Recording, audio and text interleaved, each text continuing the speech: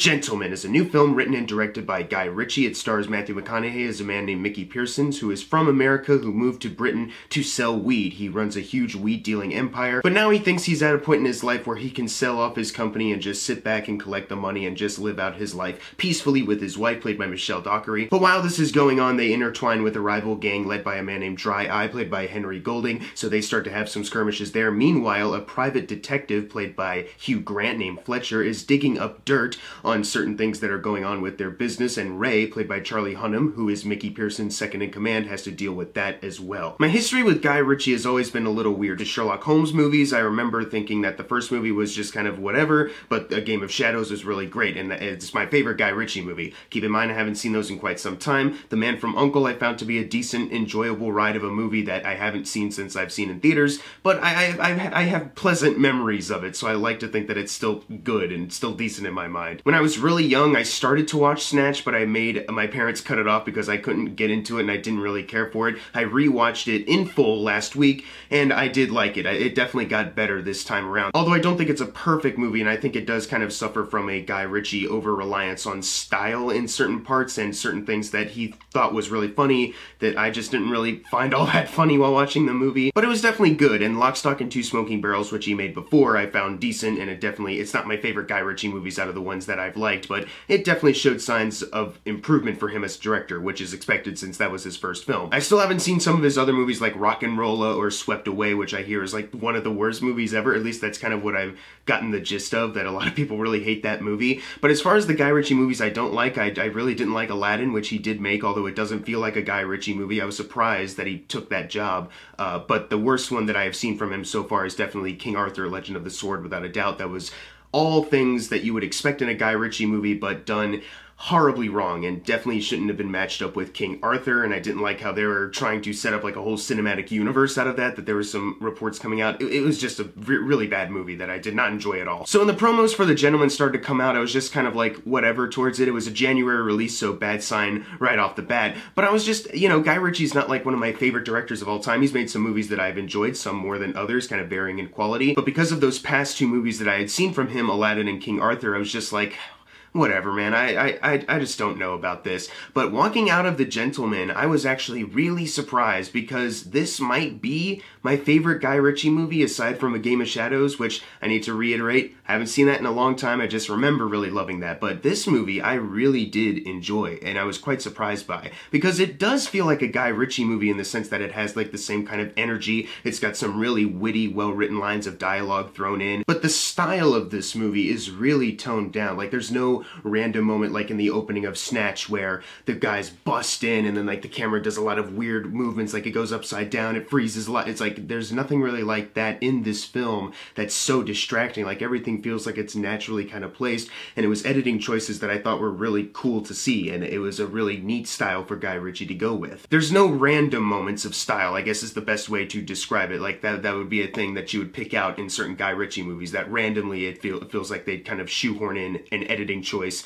that maybe could work or maybe wouldn't. This one I thought it was always working and I couldn't have been more surprised by that. I also really like the way he told his story in this movie because it's one of those things that could be told very straightforward, but because of the choice he made on how he wanted to tell this story, it actually makes the impact a lot better and it gets you more invested in the story as a whole. And I don't really want to tell you exactly how this story is told because I think it would ruin it for some people. I kind of went in not knowing how it was going to be done. I thought it was going to be like fairly straightforward. So I was surprised when the movie's storytelling kind of was laid out the way it was. And I was like, this is actually really inspired like it's an inspired choice uh, and I, I, really do admire that about him in this movie. There are a couple jokes that i wouldn't say were like obnoxious or anything but just it didn't really hit the way certain other lines of dialogue were hitting. But that being said i found this movie very entertaining and very funny throughout the entire film. One of the things that helps is that you have a great cast of actors here who know how to work with this material.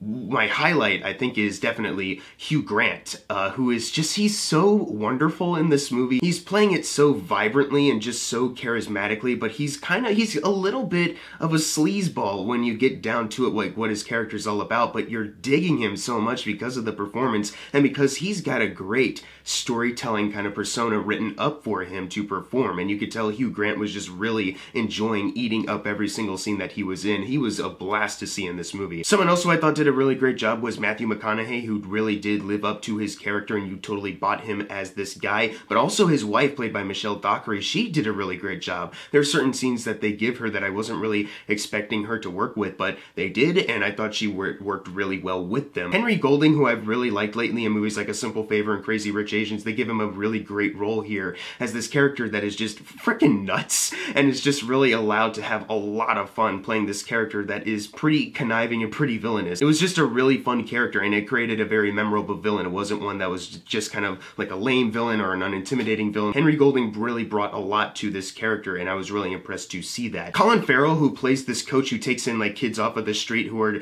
going down a bad path and tries to set them on a good path, like he was really funny too. I really like Colin Farrell as an actor and he got a really great role to play with as well. But Charlie Hunnam was also really impressive in this movie because a lot of people like to pick on Charlie Hunnam. I'm not one of those people. I like Pacific Rim and I've heard great things about Sons of Anarchy, but this might be like my favorite performance that I've seen from him so far because he's just really embracing the tone of this character, the tone of the movie he's in. There's a moment where Charlie Hunnam has to absolutely command the room that he is in. He has to be the largest intimidating figure in it and I totally bought it. And I wouldn't say he was like scary in the scene, but it was something where you're kind of sitting back like, okay, like he he's going really hard in this scene, but for all the right reasons. Like it's exactly what the character demanded of him to do, and he really delivered it all very well with a lot of menace. And everyone in this cast is having a blast, and you can definitely stay the same about Charlie Hunnam. There's like one like small thing that he did. There's like one small like little noise that he made that I wasn't expecting him to make, and I, I didn't expect that to be like a big like laugh moment for me, but I laughed at it and I was enjoying it so much. And it's like a small little action that I've just for some reason it's been stuck in my brain as something that was really memorable. So props to them for coming up with some dialogue and some character acting moments that are going to be able to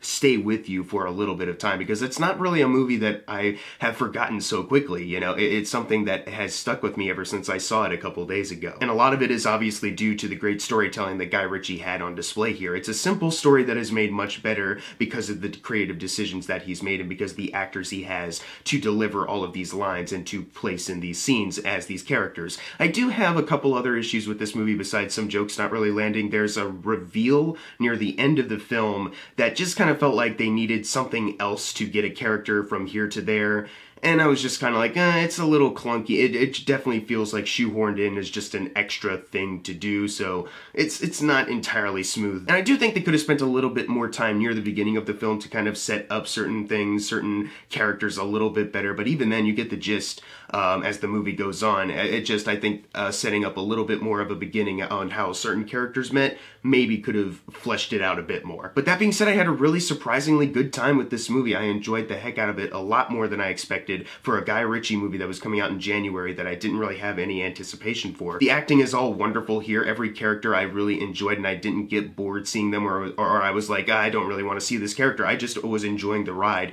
that Guy Ritchie had placed us on. It's a well-written movie, a well-directed movie. Its cinematography is good. It's got a really good score as well to accompany a good soundtrack and also the editing editing isn't distracting, which is perfect. Guy Ritchie, I think, has found a way to hone in what he thinks is a really great creative style, but not have it be so overbearing, which is all I could really ask for at this point. I'm gonna give The Gentleman a B+. plus. If you don't know certain things about the plot already, I'd say keep it at that. I'd say also, if you want a really great experience, even more so, try not to see any trailers beforehand if you haven't yet, because I think it is a really rewarding experience if you don't know certain ways the plot reveals itself as it goes on. But if you've seen The Gentleman, leave in the comments below what you thought of it, and as always, thank you guys for watching. Make sure to subscribe. I'm Jackson Fulcher. See you guys next time.